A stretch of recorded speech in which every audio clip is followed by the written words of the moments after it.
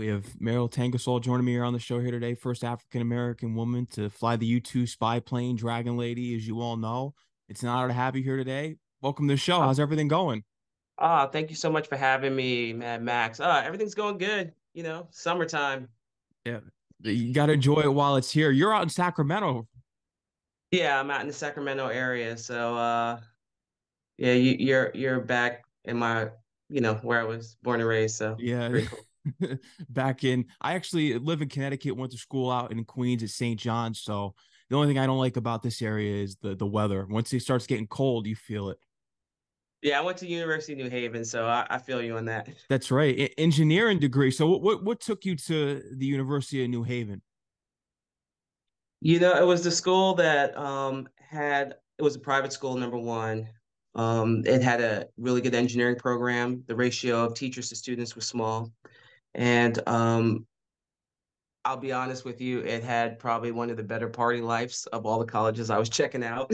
so I wanted I wanted the full experience in terms of my college life, you know, leaving high school. So I wanted I wanted to do everything. They had a basketball team, they had a division two basketball team, softball team, they had ROTC. So for me, and it was very diverse. So I was I was big into that at that time. So it had everything that I wanted. No, that's important, and, I'm happy to hear that you achieved your degree in engineering. But we'll, we'll, get into your history. You're from the Bronx originally. I heard about your family life and you telling your mom at a young age that you wanted to be an astronaut at the age of seven, and she's like, "Oh, that's nice." And I and I heard about your father wasn't really present, but was she someone that instilled in you to have a strict mindset and to be disciplined because you were someone that were basically a go-getter at, at, the youngest age right then at the bull age of seven. You knew you didn't want to do a nine to five but you always knew you wanted to be an astronaut. So who kind of instilled that strict mindset for you? You know my mom you know she had to go to work back to work because she had to support us. So i think for her you know she she made it happen. She went from working as a bank teller and she quit that and work for the government as a postal in the postal service. So when she did that, she started at you know working nights, and I had to stay with my grandmother a lot, and but that was something that she had to do. And I think as a kid, you you see the people around you, and you become a product of those people around you. So my grandmother worked hard. You know, she was an older lady, but she worked at a uh, a senior citizens kind of I don't want to say after school, but a day center type thing where there was a lot of activities and food and she served. And my mom worked hard. So I, I got, you know, I watched that and I said, that was just what they did. So I knew I was going to do something like that. So I, I like to work hard, but I also like to have fun. Hence U, UNH. it sounds like you had a great time there and i'm happy because that's what's so important about go to, going to college i really didn't get to experience that at st john's because i was so disciplined in my studies and doing so much with my journalism career i didn't the party time never came so i look at my parties when i talk to people not the the other shenanigans that go on but i, I want to get into this because you were watching all this stuff star trek the twilight zone all the science fiction really inspired oh. you as well to wanting to get into the astronaut aspects? Yeah, um, absolutely. Star Trek was probably the biggest influence because it was about, you know, Gene Roddenberry, who was the creator of that, had a great vision in terms of having these people from diverse backgrounds, whether you were aliens, whether you're black, white, or whatever eh, on this world. And they went out to explore strange new worlds and seek out new civilizations. And they came with all these great skill sets to kind of figure out problems and overcome these problems. And everyone had their role and everyone equally, they contributed differently at different times, but everyone was important. So I think that was something that I was into. Like, hey, I love to work with a team of people exploring something, doing something dangerous. I mean, it's a, there's a, for me personally, there's some excitement into the unknown, the challenges. How far can you push yourself as a human being? How far can you go? uh, physically, mentally, emotionally, yeah, I'm I'm all about that. If it's if it's something that pushes you and you learn something at the end of that, I'm not afraid of that at all. No, some people are. Yeah, and you're one of the brave and, and courageous out there, no doubt about it. You you eventually get into the Navy because this was your way in. This is how you looked at it.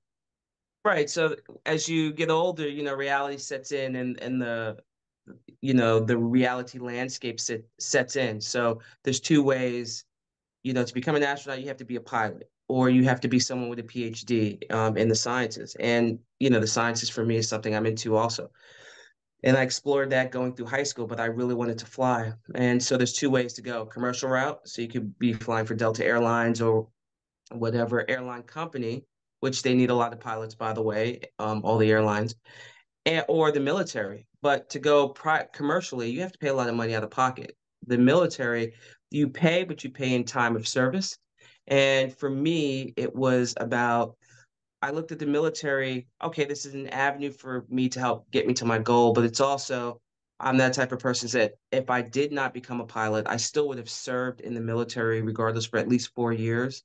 Um, I think that's something that we should all do, um, whether you agree with me or not. I think it gives you some type of uh, service, government service or civil service, whether you're working in the state level, uh, the federal level, or you're working at the Peace Corps. I think there's something in it about giving to people or sacrificing time or energy to do certain things. Uh, I think there's goodness in that. So, um, yeah, the military it was. So uh, it worked out where I started in the Navy. Most astronauts at that time were naval aviators, and I got picked up for the Navy and into the pilot program. Granted, uh, contingent upon me finishing officer candidate school. So, wow, that's how it started. Did, did you ever have the chance of meeting these historical figures? Because you're a historical figure yourself and, and making history, but did you ever have the chance to meet someone like a Buzz Aldrin? I have not, not yet. No. I'm sure it's in the cards. Yeah. I'm sure. Uh, I like to meet Mae Jemison. Our paths, I'm surprised, have not crossed yet, but yeah, eventually it will. Um, yeah, eventually it will. And one of the presidents, they got to call you here because Biden's in office now. You should get a Medal of Freedom. You got to get that gold medal. Uh, you know, I, I don't. yeah, I don't. I don't think about things like that. I just, um, I, I do what I do because I believe in it. I do because I'm passionate about it. I love what I do. So I don't. I think, like most military people, um, the ribbons and the medals that we get are just a byproduct of doing the things that we love and that we are honored to be able to do and serve, and the privilege to be able to do that for the military and for the people, you know, for America. No, and, and you have served the country, and I, and I, everyone out there appreciates you, who's well aware of what you've done. Uh, I, I, do want to talk about the the process and getting into the U U2s because you had to sit in a room with the suit on, and then you fell asleep in it. I did. So yeah, the U2 interview is a, a two week interview process. Typically, the U2 program, like some of the other Air Force programs, so I switched over from the Navy to the Air Force. They require you to have previous flight experience, um, quite extensive flight experiences in other aircraft.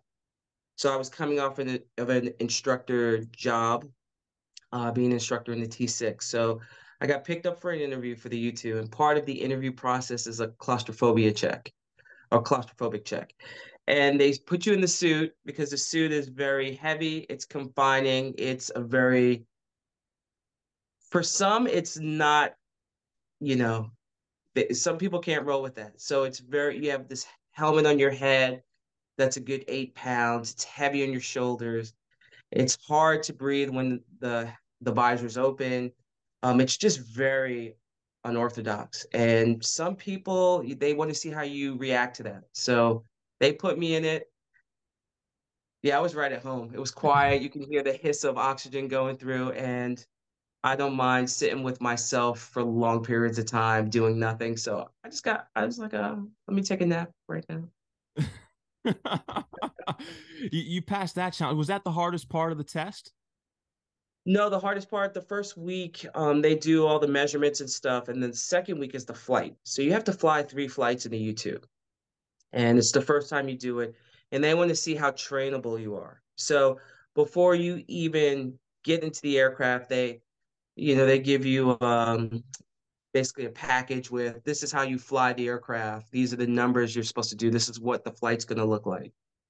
And because we've flown in other aircraft it's it's similar. But then the day you get in there and you fly it and then an instructor's teaching you. They they do like the first low approach you do a low approach. Then they do the first landing, and then you start land- doing landings, and it's quite uh, uh, it's quite entertaining to say the least to see a new interview pilot try to land the aircraft um, safely. So um, yeah, so So I would say that was the the most challenging part because every day you have to improve.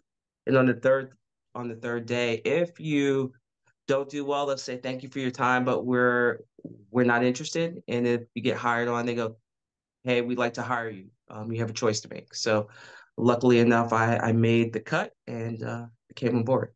L- look, it wasn't my first two flights were okay. Um, I definitely wore some tail wheels out and it wasn't the prettiest, but my last flight, it all clicked in together. So that, that's big time. Now, was it on the first one I heard about you, when because there's the oxygen level where everything was getting foggy and you were going up in the air? Was that the first? Was that the first ride? The first test ride? No, that was the first high flight that I ever did. So once I got into the program, I soloed, and then they, the first solo you do is just in the pattern. So you learn how to do landings, all different type of landings, and simulated emergencies.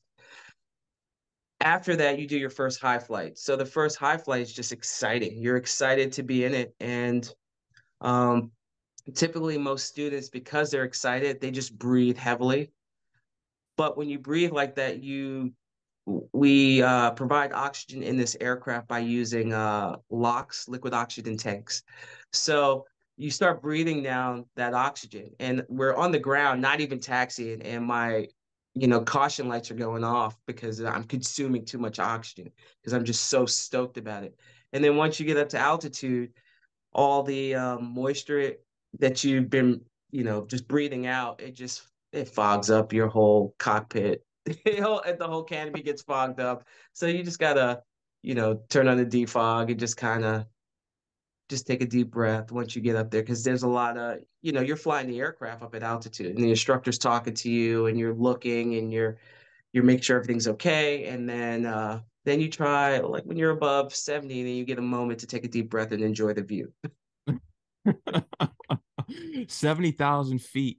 That's that's way up there because when I think about because you're, you're a big Twilight Zone fan, so when I think of the episode Nightmare thirty thousand feet with the Gremlin, William Shatner, William Shatner, William Shatner, yeah, right? Captain, Captain Kirk, one of the best episodes. Um, yeah, I don't think about Gremlins on there, but you know, there's just times, um, especially at night, you have that episode's funny at 30,000 feet. You can see the wings, but in the U2, the wingspan is uh, 104 feet.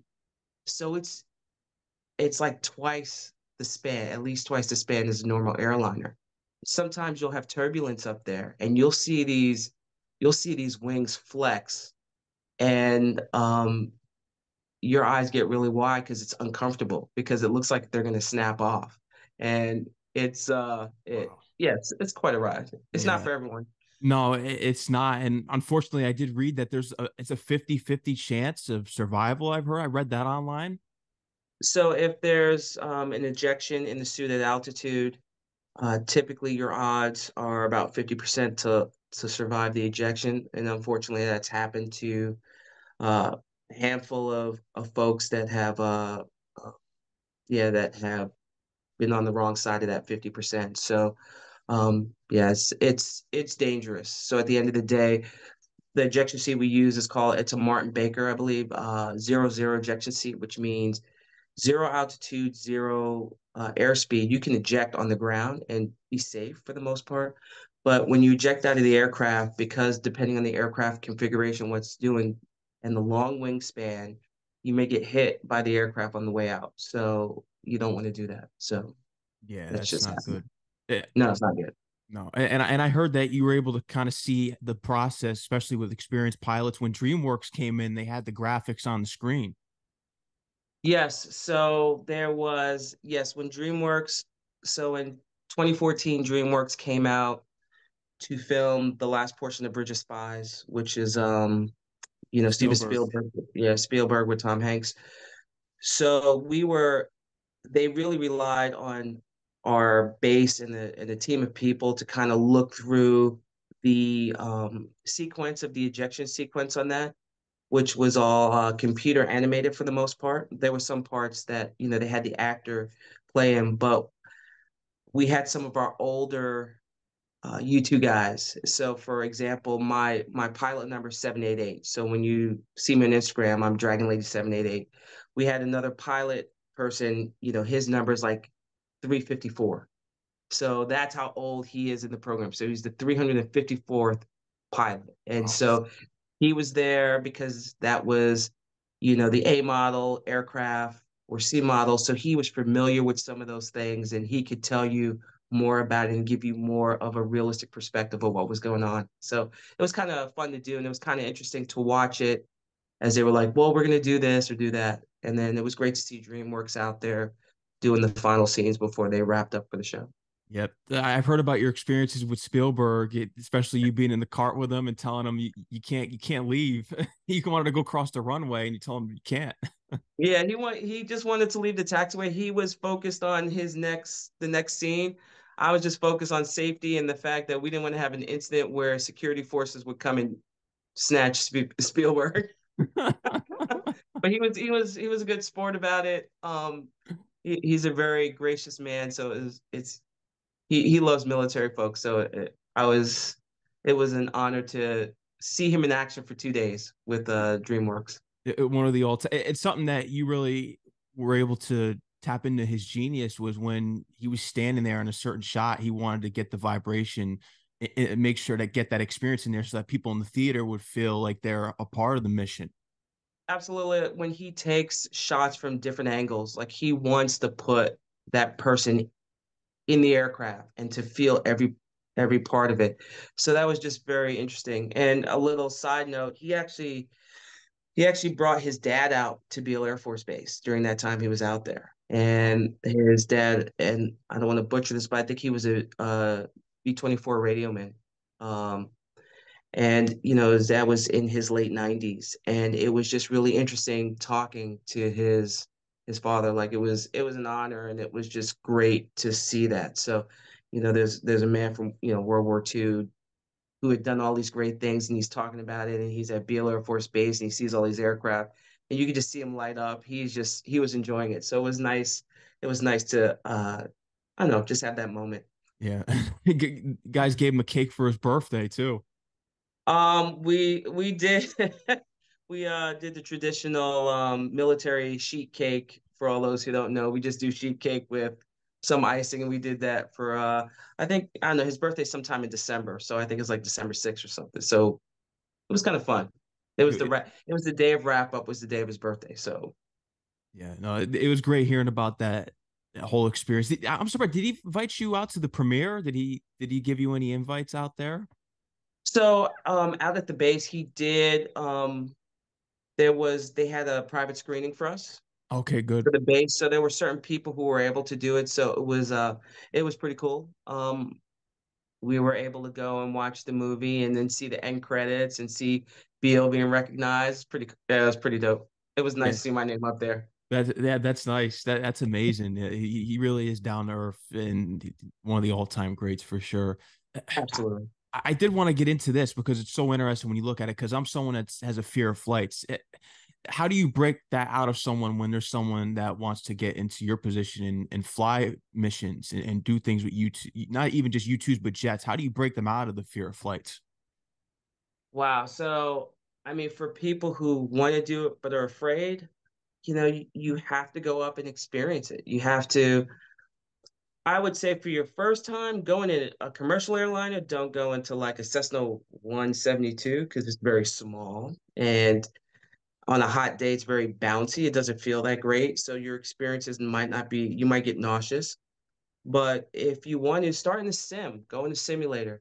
Go in, uh, if you, you know, a realistic simulator that's like 360 degrees if you can. Uh, do some VR work to see what that feels like. I mean, you know, now virtual reality, if you've got some Oculus or something, is highly realistic. Um, you know, I have yeah, I have an Oculus, and there are some games I play. I got to take it off because I start, you know, realistic. Ears, you know, yeah, it's pretty real, pretty realistic. Um, I would start with that and kind of get acclimated, and then go with a friend that you trust in an aircraft, and just go for a ride. Um, you know, a lot of people, I didn't know how I was going to do the first time I got in an aircraft, like to fly it. And it was different flying in the Cessna 152, where it was bumpy and I didn't feel that great, as opposed to me flying a military trainer in the front cockpit. It was a totally different experience. Um, it was it was like night and day. I felt really good in this aircraft. So um, go with someone you trust. Try the VR stuff first, and then kind of walk yourself in. It'll be okay. Yeah. oh yeah, no, it's it's scary for certain people, but you could always break out of that fear. You've said it before. Anything, as long as you put the hard work in, you can make whatever it is that you want to make it yourself. You can, and sometimes you know part of that, the thrill of it. For some people, even just sitting in the cockpit of an aircraft and just taxiing around on the runway and not take off, that might be a huge like over you know overcome for them. And that's you got to celebrate that and celebrate those small things. So you know maybe the next time you're taxiing around and the next time someone takes off real quick does one turn and come back you might be screaming the entire time but you'll do it and you'll be like i wasn't so bad. And then you keep taking a little bit more. I did hear about this uh, frightening experience because I did hear that it was this helicopter that it, you almost hit the ground into the water. It was a mission late at night. I heard you were trying to track a submarine, and that was that was pretty scary. Um, yeah, it was probably um for me um a defining moment in terms of how I conduct myself as a pilot, as air crew, as anything. And uh, you know, it was when I in the Navy, my first fleet aircraft was helicopters. So I flew helicopters, um, SH-60 Bravo Seahawks. For those out there who are military like military aircraft. Um, so the 60 Bravos and my first first training mission after I had become qualified in the aircraft was with a aircraft commander who was um, it just wasn't the best, you know. You know, you have some doctors that graduate with an A and some doctors that graduate with a D. He's probably a pilot that graduated with a C minus. So um, we were flying one night um, out doing a training mission looking for a submarine, and there was some. We had to actually ID it by throwing a chem light or something on it, and we knew where it was, but it was too dark. It was foggy, and we decided to. We can only go to a certain altitude, but we decided to go down, and all of us in the aircraft, myself, aircraft commander, as well as air crew member, decided to do what we call a coupled hover and it's a um, automated hover down to 50 feet because our operating procedures said you couldn't go below 200 feet at night, but it didn't talk about doing it in a coupled uh, hover. So we started to do that. I was slow taking out the checklist. Little did I know that the aircraft commander, without saying anything, started a manual descent. And then something didn't feel right because my head was down and I and I felt this bump and I looked up and we were descending through 20 feet and uh, I yelled power. The air crew member couldn't see anything because his head was outside the helicopter. He was looking outside the doors trying to find the sub. And we probably hit, we ended around six feet and we started climbing back up. So that just taught me a lot. Number one, um, you know, play stupid games, you're going to win stupid prizes, right? So there's operating procedures for a reason. And you know, trying to bypass that in the training mission, what what good is that? And you know, the person you're flying with, you have to have good crew coordination. You can't do that. And I need to keep an eye on people. Don't trust just because they have more experience than me that they're better or they can't, they're not, they can't make mistakes. So no, yeah, that's that's crazy. And that was all with the the coupled approach.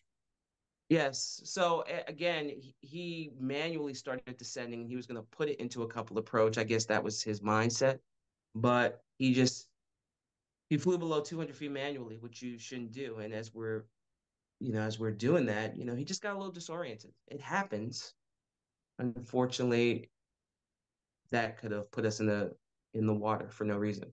And yeah. we just had a mishap like two months prior with this with a different crew at a different squadron that did exactly the same thing. Hopefully, so, they got some trainers in there to fix all these issues. well, there's there was no issue. It's just like, hey guys, don't do that. Yeah. Unbelievable. Oh man. Yeah, I, I, I want to dip more into the positive because not only when passing the first ride with the U2, which you that that's the major achievement, but what is your defining moment besides that? Because the defining moment you just mentioned, you know, the, the first test that you passed, but we we got into the negative one. But what's another one that really lingers out there? Defining moments for me. So I get this a lot, but I'm gonna I'm gonna be more, I think, holistic about this answer.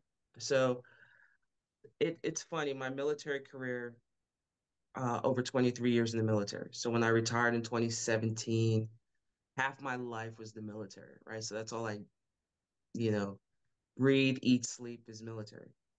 And in these last, what, six years, you know, a lot of things have happened. So, you know, I was a mom when I was in the military, but my my uh, kids have grown you know, during my time at shortly after retirement, we brought another kid into our family. Um, we adopted another, you know, we adopted a child.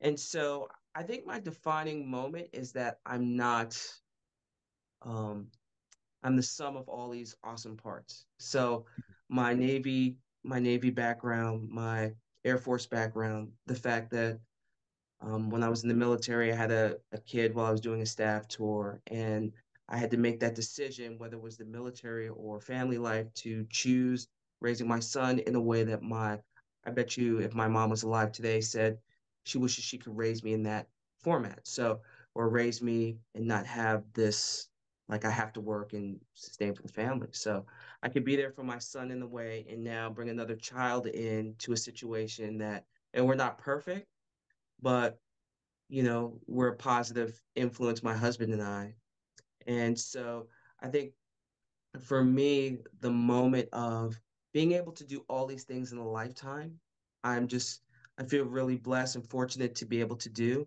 and to be disciplined enough to make it all work despite the chaos that ensues sometime.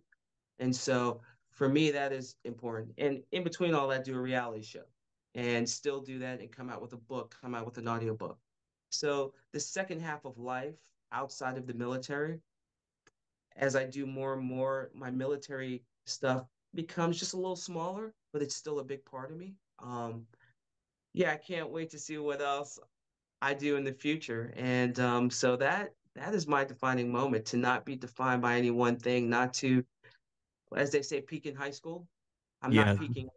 Like I just continue. Like one hill, come here. All right, let's go. Let's climb the next hill. And I think I wish sometimes more people would think like that. Like when one part of your world closes, oh, there's so much more. It's like space, explore, take on the challenges. Let's let's go. Yeah. uh when we look at the entire history here and just everything that's that's going on in this country when i look back at movies such as Men of Honor and, and just seeing that the struggles that African Americans go through, especially when you've seen in movies how it's been depicted in the military. How was your experience as far as the racism? Did were there people trainers there that cracked down once they would see issues like that that would occur? What were some of the experiences that uh, you may have seen or even gone through yourself that you feel comfortable about uh, speaking? Yeah, so you know, uh, I'll put this in perspective. I started in the military in the '90s, so mid '90s, '94 and in the beginning, there was a push in the Navy and I think other branches of service, other branches of service for um, minorities, especially in the engineering STEM fields, to come into the pilot program. And I and I understand, you know, now why because it takes a long time to groom someone from an ensign all the way to a captain or admiral, just the same way as in the military, second lieutenant all the way to general or um, colonel. And so I think when we first started, there were quite a few of us. We all didn't make it. Um, I could tell you in a group of five women of color, I was the only one to finish flight training. They all left for certain reasons, academically or medically or, or whatever. And I would say the pilots, military pilots, the active duty were great. The reservists were great. Some of the simulator instructors who were older back in, you know, the Vietnam era or um, you know, some of, you know, World War II guys, you know, that they were like, they had that mentality. You could tell, not my service.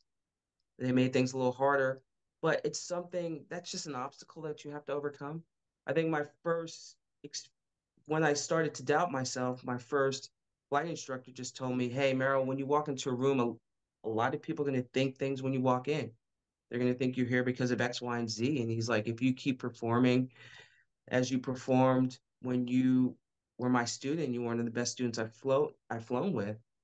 Um, eventually, they're going to have to say you're here because you're that damn good." So, you know, performance is usually the thing that trumps everything.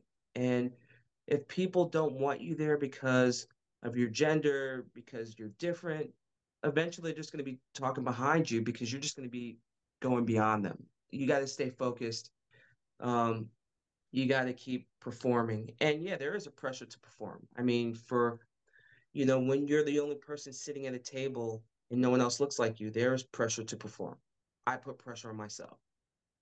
Everything that I say at the end of it, at the end of the conversation, at the end of the meeting, I scrutinized to make sure I did not embarrass myself, embarrass my organization, embarrass those who are behind me that are trying to come up. Because I know people are going to put that in the back back of their head. So I think throughout time in the military, there are a lot of people that believe in diversity, equity, and inclusion. And I met that with, you know, I had to be reminded of that when I was about to leave. And I had a general who said, no, we need to have you stay longer. And he went to bat for me, not even knowing. He saw my record. He didn't know who I was, but he said, we need to have you here because he knew that my being in the military longer was incredibly important for those coming up behind me. And so, yeah, so I mean, over time, it's it's gotten better, but it just depends. It depends on the organization, and I think people of color will always you know, there's not many of us in the military, especially as you get at the higher echelons. And so we always have to represent. We always have to be on point. There's always going to be that pressure. But we're up to the challenge. And I'm sure one day it'll be more more of us. Yeah. I'm I'm hoping. I'm sure it will. It's it's got to progress here. It 100% has to. And it's important. Thank you for sharing all, all the the information that you experienced and just seeing how things should change and you know on your way out especially now that you're retired. Ai is a big topic now. It's going to be taking over everything. You're seeing it everywhere. It's copying me, musicians and all this stuff. It's going crazy. Uh, i'm still big into you need humans to be flying these aircrafts. What do you see as far as ai now with do you think it's going to be have a big impact here on the you not even just u2s but all aircraft think um, AI is interesting. Yes, it's going to change a lot of things. Um, I think people who work with their hands in construction and the trades, I think we're still going to need a lot of people that do that. Um, you know, just being on Tough as Nails, that stuff's hard to make it automated, to make it, it's going to be hard for AI. I'm saying it's impossible, but it's hard. For aircraft, um, we have drones, you know, the U2, we flew um, with the Global Hawk aircraft, which was an unmanned aircraft. Um, but again, how many people does it take to fly an unmanned aircraft? Um, it takes quite a few, by the way. Um, you know, you still have your sensor operators, your other people who are watching the aircraft and still navigating it. So for AI, I think AI will help the process, but I don't think you want to take a human out of the loop of everything because you never know some unintended consequences. I think people as a whole will always feel uncomfortable if there is not a pilot in the front seat of an aircraft flying because they have no skin in the game if something were to occur. So, um, for transporting, um, you know, mail equipment and all that stuff, great. But maybe for people, people want to see other people. Um, so I think it will change, and I think it will. I think if we were smart, we would change it slowly over time. And in terms of AI being used to deploy as, you know, for defense or weaponry, it's, you know, it's it's coming. We just have to be ready, and we have to be able to, um, you know, just ret- maintain control of it and really insert a person in the loop. I think that would help out. It may reduce the manpower, but we'll always, I believe we'll, I think we should have someone there. So yeah. I'm sure. I'm not in the military anymore. I'm not sure what they're thinking. I would just say um, to hedge your bets, make sure there's some human monitoring.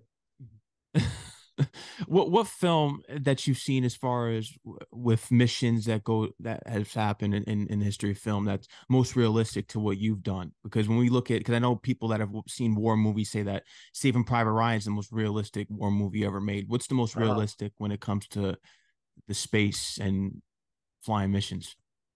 Oh wow. Um the space of flying missions. It's a good question. I gotta think about that. Um the only one that's coming to mind right now that I think people really love was Top Gun Maverick. Okay. Um, yeah, to my Air Force brethren, I'm sorry we we make some horrible movies. Iron Eagle is not our best performance. um, the Navy really rocks with that, and um, I I like Top Gun Maverick. Okay, the scenario was kind of hokey. You had to press the I believe button, but everything in terms of like the G forces, what it does on the body, all that stuff, I think was very realistic. It was like, yeah, that's plausible. But the fact that, you know, he landed in Russian territory and, and then there was like an F 14 just, you know, you had to press that. Like that was entertainment. But the physiological aspects of the aircraft and some of the things it could do. Um, I went with a whole bunch of other Navy pilots that day, and some of them were uh, Tomcat drivers. Pretty realistic. It was it was enjoyable. I'm sorry, Iron Eagle was I don't even remember. I just remember it being not good. Air Force, Air Force, you did come with a stronger story. Oh uh, well, who knows when that's gonna be? So the the the people that are home right now, up and coming filmmakers, now's your time because the whole writers industry is on strike, the actors industry is on strike. So if you're at home and you want to break through in this industry, now's your time because it, it you see the changes that are happening right now with all the strikes. It, it's insane. Yeah, I mean, I and I understand. I mean, I know some friends who are writers, and uh, they were getting the short end of the stick. So yeah, you know, it's anything I've learned um, when I did Tough as Nails, and I watch people who work with their hands and doing houses and buildings. You pay people what they're worth. Like you pay, you pay for the creativity. You pay for um, building a home, you pay for laying the foundation. Like, like stop trying to get over on people like that who are just trying to make hard, just trying to live in their overexpensive rent place. Like seriously, like try to do that stuff by yourself. It's yeah. tough. Whether I mean, I'm just being real. Like, man, when's the last time someone tried to roll carpet in their house or tile? That stuff is difficult, and you're sore. Yeah. and, and you know, you want to write this, this great story and you want someone to sit down for hours on end to create something that's beautiful and you don't want to provide and you're like ah oh, ai can do that maybe maybe they could do something that's interesting but i think as human beings our minds are just beautiful and the things that we create and having ai maybe help augment that and bounce stuff off i mean it's a beautiful thing, but people should be paid for the time that they invest, and yeah. it's only fair. Oh, I agree. Writers, yeah. they're the vision for everything. They're the, they're the, they bring everything alive, and it's it's it's insane what we're going through. And then the, there's a ton of strikes. I heard UPS is going to be going on strike soon. So yeah, we're going through a shift right now. Yeah. So I mean, uh, case in point for my book, Shatter the Sky, I had a, I had a ghostwriter, and his name is Lance Thompson, and he is a friend. He's been a friend of mine for over 10 years. He writes military history. He is he is great in his thinking. He says something. He's the guy who I think it was the movie Predator 2. He did the marketing for that. Okay, so with Danny Glover, Bill Paxton. Yeah, he he did the marketing. Like that was him. That was like his wow. brainchild. That's how smart he is. How would that come across? Like, hey, I want you to help write a book and not pay you. What? it makes it makes no sense anyway. So, um, yeah, pay people for what they're worth. People are worth a lot. We have a lot of value, and uh, yeah, pay those who are creating. Yeah. Oh, I agree. And you bring up your book. You have it in the background, "Shatter the Sky," right there. Your your biography, right there. Yes. Yeah. Shatter 2021. It was October. It was released. Yes, October of 2021. Um, it this was uh this was a interesting day. So not to bring it down, it was released the same day my mom passed away. Oh, my condolences. So, so yeah, thank you. But you know, it was just it was just a very defining day. So um yeah, I'm proud that I'm able to share my story and inspire some people. I've gotten a lot of feedback. This year I came out with the audiobook, which um uh has done really well. You know, again, shout out to my friend Lance and Phil Keoghan, um, who's the host for uh, The Amazing Race, who's the executive producer for Tough as Nails. He did the forward. Yeah, so he did he did the forward for the book, and um, you know, I'm just really pleased, and I'm I'm glad that after you know a couple of years out of retirement, that all these things have happened, that I was able to, you know, talk about it and inspire folks. I'm still getting a lot of feedback off the book, so if you haven't gotten it, it's it's good. Yeah. well, in a way, you have a response to the Notorious B.I.G. song "Sky's the Limit." You said, "No, the sky is not the limit." Absolutely. Yeah, I think um yeah, sky is not the limit. So uh, when we were coming up with this, a lot of you know during the time that I was thinking about developing this, a lot of uh, the saying was like shattering glass ceilings and breaking glass ceilings. I'm like, man, I look up and I'm like, my ceiling's pretty low. That's a low bar, man. We gotta we gotta aim much higher, so much higher. So yeah. That's what I want people to do. And you did. Is there going to be a movie? I really think there should be a movie on your life story. Any talks about a documentary or movie in the works at all that you could speak about? Um, nothing, nothing I could speak about. I will just say that, uh, yeah, there's some things in works. So if anyone's listening right now and they know some writers and producers after the strike is over, because we wouldn't do anything during that time, we definitely respect that. Um, yeah, hit me up on Instagram, Dragon Lady seven eight eight. Let's go, Spike. Let's go, Spike Lee. Right? Let's get. Let, let's go. uh, let's get to it. I did want to talk about this because you you were in mixed martial arts training and you're also a personal trainer too. You you train from the ages of seven to seventy nine. I do. So um, when I left the military, most people were surprised. Hey, come to the airlines. I didn't want to do that. Um, I've always wanted to fly. I, I like to do missions, but I don't like to do like transport and cargo. That's that's not my that's not my scene. Um, so I decided to become a personal trainer. It was a way, an avenue for me to motivate people. I and um, inspire people like through fitness. It's huge. So to motivate people to be better versions of, of themselves through fitness is great. And uh, yeah, I have a martial arts background. I've been doing martial arts since I was 19.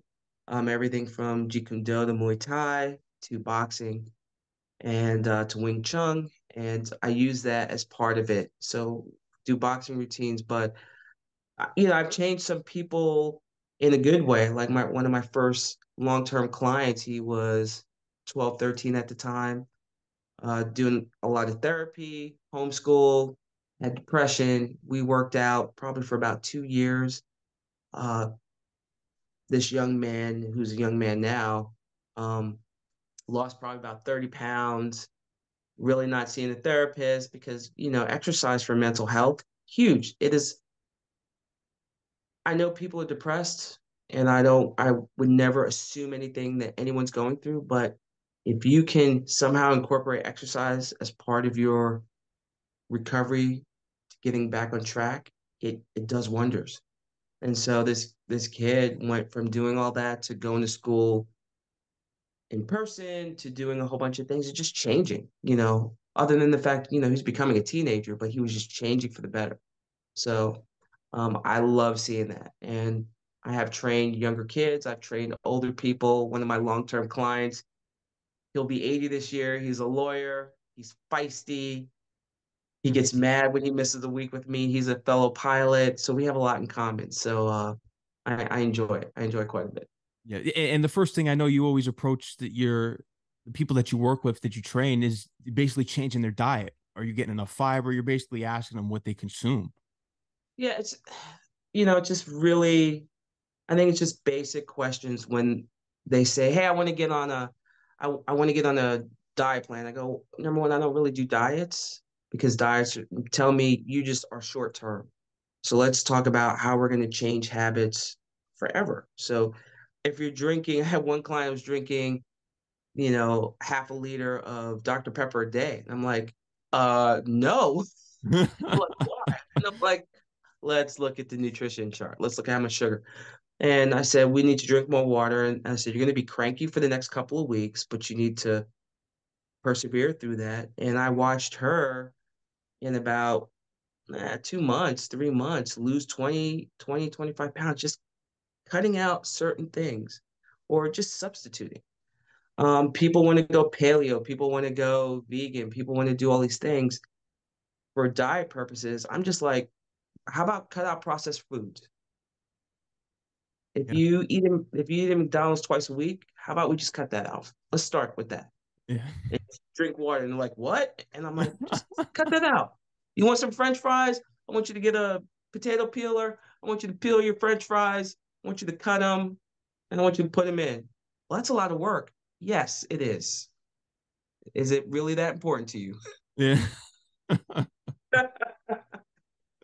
I mean, it's like, hey, let's cut out. If if most of us dial back on the processed foods and just ate more of us preparing and pre-planning and thinking ahead and being disciplined about that, you would see an automatic change. Drink more water, of course, exercise, and there's a huge there's going to be a huge shift.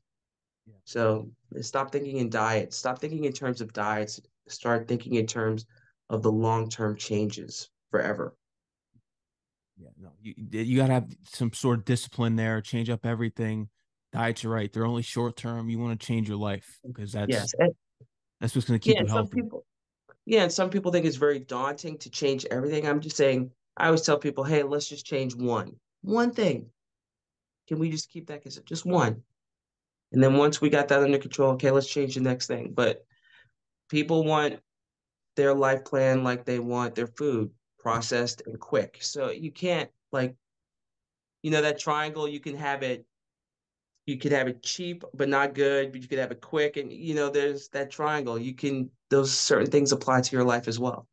You want a good life, takes time. No, it does. And and just that that's important right there. It could really change people's lives. But as far as because I did hear about with you adopting your kids, Foster, you want to give people opportunities. That was something that you were strict on.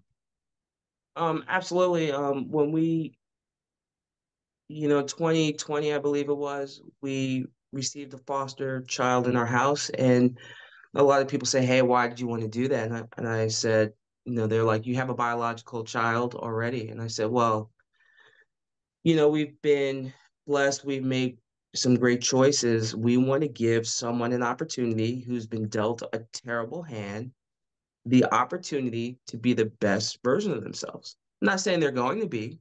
They got a lot of things to overcome. Um, our daughter has, you know, as any child of trauma, whether they're biological or not, there's just things that makes you who you are. You got things to overcome. And so we're going to help her through that and we're helping her through that so you know at the end of the day when she leaves the house or goes to college or goes to vet school or whatever she wants to do she can go well you guys were pretty hard but i guess this is okay well yeah because you're you're adulting unlike some people Oh no, that, that's amazing, and just God bless you and, and everything that you do and you have done. Eh, eh, what's something that you're looking to achieve for this year at the at the end of this year? Do you have some goals that you're looking to? What's on the docket for the rest of 2023? Yeah, so the rest of 2023 is to to um, be interviewed by awesome people such as yourself. Oh, I um, appreciate it. Yes, thank you. This is great. Um, great conversation. Um, probably continue to tell my story uh, get on different um, venues, maybe on different talk shows, and uh, just spread that word. I think we need more positivity out there. There's a lot of, um, you know, negative self-talk, just the media in general, and we just need a lot of we just need a lot of good stories. And really, to finish off this summer, get my kids back into school because um, I'm tired of being an Uber service for them and taking them to all these activities. My fault. I planned it. I know, but I'm. It's it's get to the end of summer and it's time for them to go back to school. time to start charging. it's, it is. Oh man, they are. Nothing pleases them, man. my, my daughter, I'm like, uh, yeah, she's part of the family now. Oh boy, I, I did want to ask you this because this ties back into my show, and you're from the Bronx. That's where hip hop originated. Do you remember some of these parties that were going on there with Grandmaster Flash and Caz? Do you remember uh, anything with hip hop being around there? You know, I just I just remember the music and just how cool it was. When you lived during that time, I, I don't think I don't think I I realized the gravity of like hip hop was created there. And you know, we just enjoyed the moment. So I have a uh, my friend um Cormega. Um he's from okay, Queens. from Queensbridge. Yeah, he's been on the show. Has he? Yeah. Well, he so I went to see him last week down in LA um perform and you know, we graduated from the same high school. Oh wow. So so um so it was great to see him. hung out with him for a while, you know, got to talk to him and just watch him in his environment. And if you ever go onto his social media, um, Cormega on Instagram, he's doing this whole 50 year of hip hop and just writing about everyone. I mean, it's just amazing the information that this man has. And every time I read one of his posts, I'm like, oh, I forgot about that. So, like for me, a kid in the Bronx, I just lived the moment. Like I was, I loved it. I loved the music. I loved everything about it. It made me feel great. It made me feel special. It got me through a lot of hard times. So, yeah, I mean, Grandmaster Flash and all these. I wasn't at those parties and stuff. Yeah. I wasn't cool like that. Um, but just hearing the music and everything, it just it brings me back to those days. Yes, yeah. I love it. Uh, do yeah. you have a favorite, a favorite artist of all time? favorite artist of yeah in, in the hip hop genre?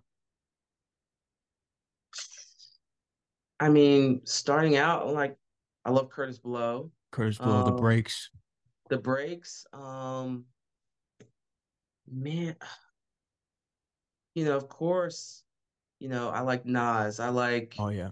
I like, you know, Biggie, of course. I yeah. mean, I just I don't have a top five list. It'll change from it'll change from moment to moment. It, it just will. I mean, Cormega, you listen to him, the realness, the realness too. Realness is a classic, yeah. Yeah, listen to realness last Saturday. Like I could have stayed up in another place. I went right in the center and just just watched and felt how he moved the crowd. Like the realness is good, just good stuff, just real stuff. Um, yeah, there's too many. Yeah. There's too many. All were good. Queen Latifah. Yeah. Female classic. rappers. UNITY and all that. Yeah. Oh, yes. I mean, um, man, going to Truman High School, there were some. I remember when Inspector Gadget, like that mix was going around all the time, and that was good. I, yeah, there's too many. like it's bringing me back. Sorry, we could we can have a whole hip hop uh, conversation going down memory lane. Oh, like Nas, and memory lane sitting in the park. But we we need this whole documentary on the way. Like I said, I called out Spike Lee earlier. How about Spielberg? Let's get him involved. All these big time directors to, to get a oh, movie yeah. on your life story. Jordan B. Yeah. yeah, it, it, has got to happen here. Eh, eh, Merryl, thank you for coming on the show. It, it was an honor. Thank you to Yvonne and everyone out there. Caitlin for setting this up. Uh, make sure they let them know what they can follow you on Instagram, Twitter, and, and you also have your own website too. I do. I have it. It's merryltengesdal.com. Oh. Sorry, can you still hear me? Uh, I only heard you right after I asked you what everything was. And uh, yeah, you can follow you can follow me on merryltengesdal.com. You can call Yvonne, uh, Labella Diva, uh, PR you can also find me on Instagram, DragonLady788. That is my home. Um, if you're professional, you want to go on LinkedIn and find me, um, or Facebook. I'm really slow on Facebook because it's seriously old. And then you can find me on Threads as well. So Merryl Tengesdal, look me up. um, Google me or Bing me. It's uh, I'll pop up with a whole bunch of stuff. There's no reason why you should not be able to get in touch with me. Yeah, no, there's no excuses, no reason. You have it right there. Merryl, thank you for coming on the show. You're welcome anytime. Salute oh, to you and everything that you've done and, and making history. It's big time. I appreciate you. Thank you so much for having me. Of course, anytime. Take care, stay safe, and I look forward to seeing the upcoming movie and everything you have on the way. absolutely, absolutely. Get that audiobook. Yes, I absolutely will. Everyone out there, get it as well. All right. All right. Bye bye.